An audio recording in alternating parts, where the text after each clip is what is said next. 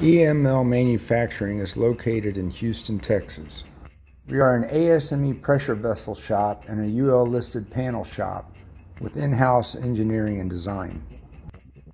Midstream continually adds new compressor stations and upgrades to existing stations.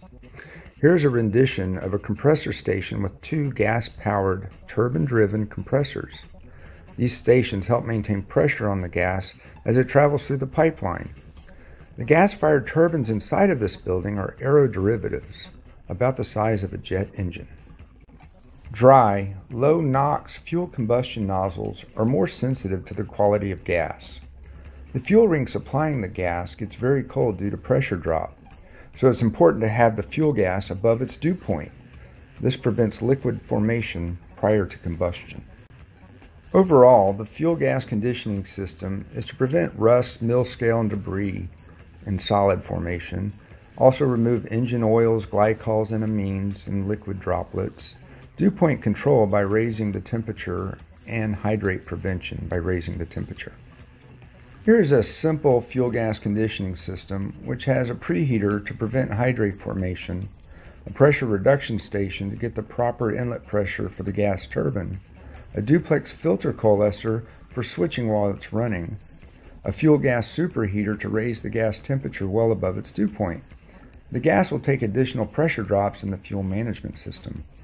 Electric heaters are preferred in this application for their size, cost, no emission, and low maintenance. Here is a fuel gas conditioning system recently completed at EML Manufacturing. It consists of a UL listed control panel for Class 1 Div 2 area classification, a 0.3 micron filter coalescer, and a pressure reduction system. The valves and instruments are laid out for easy access by looping around the skid. There are a variety of pressure, temperature, level instruments, and a variety of shutdown, isolation, and relief valves.